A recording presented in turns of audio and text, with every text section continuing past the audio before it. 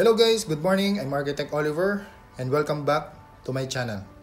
Today I prepared the continuation of the question for structural conceptualization.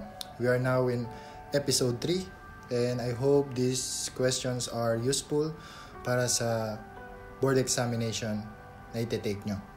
But before we start guys, if you are new to my channel, kindly subscribe so that uh, maging updated ka sa mga videos na may post ko. So, let's start. 40. This is a form, sawed, and tooled in a concrete structure to create a weakened plane regulate the location of cracking. A. Isolation joint. B. Compression control joint. C. Expansion joint. And D. Contraction joint. Answer B. Contraction joint. Next, concrete mixture of 1 is to 2 is to 4. A. Class A. B. Class C. C. Class B. And D. Class D. Answer A. Class A.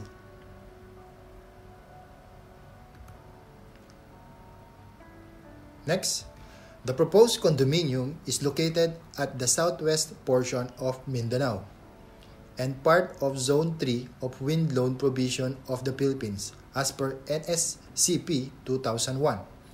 What is the basic wind speed on this area? A. 250 kph B. 125 kph C. 200 kph and D 100 kph. Answer B 125 kph.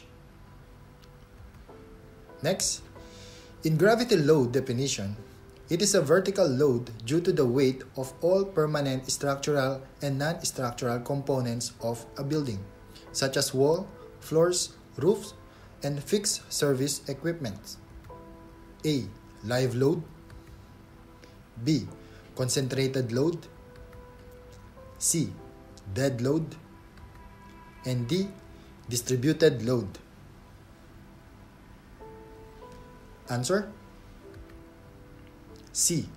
Dead load. Next, these are the effects on the structure due to earthquake motion acting in direction other than parallel to the direction of resistance under consideration. A. P delta effect.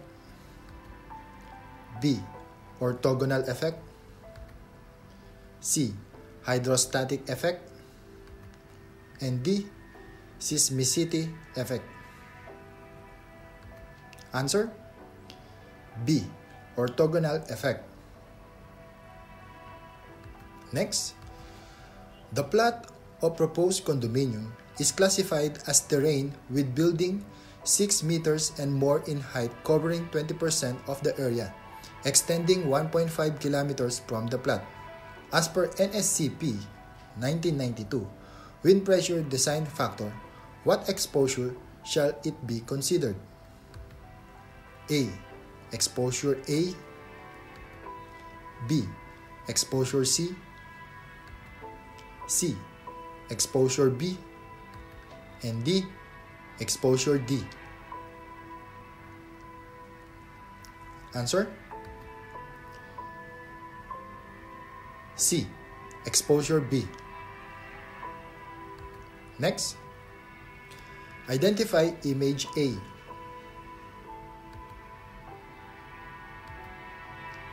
A. Pre-tensioning B. Reinforcing bars. C. Post tensioning. And D. Steel mesh. Answer C. Post-tensioning. Next, identify the image. A. Waffle slab. B. One-way slab. C. Two-way slab. D. Two-way flat slab. Answer B. One-way slab. Next, identify the image. A reinforcement for blank. A. Square footing. B. Drop slab. C. Pile cap. And D. Mushroom slab. Answer C. Pile cap. Next, identify the image. A. Double bevel butt groove weld. B. Single bevel butt groove weld. C. Double V butt groove weld. And D. Single V butt groove weld. Answer D. Single V butt groove weld. Next, identify the image. Blank is used to support lower layer of mesh or rebar. A. Steel bar chair. B. Continuous high chair. C. Piano bolster. And D. Steel bolster. Answer D. Steel bolster. Next, identify image F. A. Isolated footings.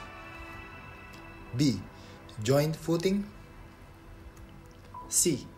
Raft foundation. And D. Strap footings. Answer D. Strap footing. Next, from the image, identify figure 1. A. Crescent truss. B. Barrel vault truss. C. Bowstring truss. And D. Bow barrel truss. Answer? A. Rather C. Bowstring truss.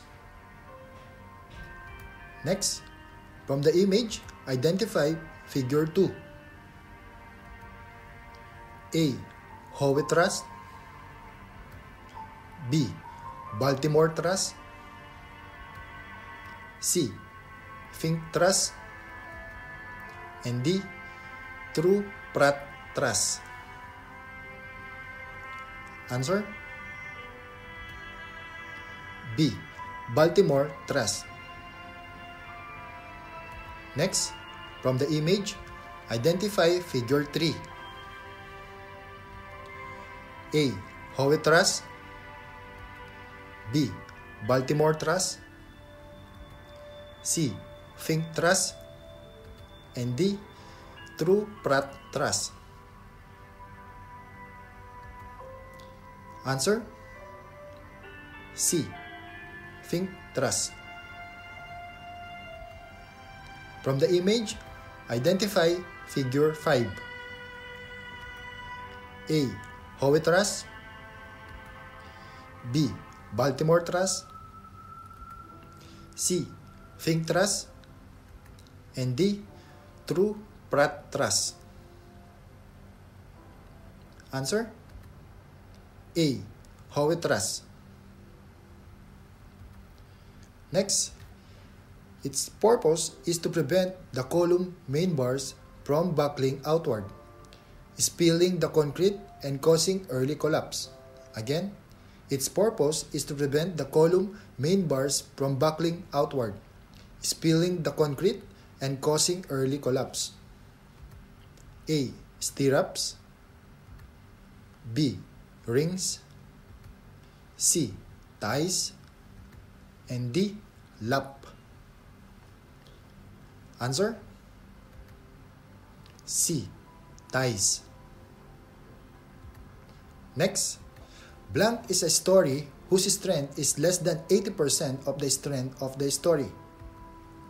A. Soft story. B. Drift story. C. Flat form. And D. Weak story. Answer D. Weak story. Next, in walls and slabs other than concrete joist construction, primarily flexural reinforcement shall not be spaced farther apart than 3 times wall or slab thickness nor farther than A. 375 mm B. 450 mm C. 500 mm and D. 300 mm Answer B. 450 mm Next, this is a component including its attachment having fundamental period less than or equal to 0.06 second. A. Brace frame. B. Rigid component. C. Bearing wall system. And D. Flexible component. Answer? B rigid component. Okay guys, thank you very much for watching the video from uh, beginning until the end. This is very short one. Uh, don't worry, I will prepare another one for this kind of uh, topic or another topic. Uh, just continue studying, reading notes, reading books, watching this kind of video. I'm, I'm sure this is very helpful para makapag-review kayo and makapasa sa board exam. And I wish you luck, guys, na you achieve the license in this coming board exam. Uh, thank you guys for watching and I hope na continue lang kayo sa pag-watch ng mga video na pinopost ko. Thank you very much. Bye.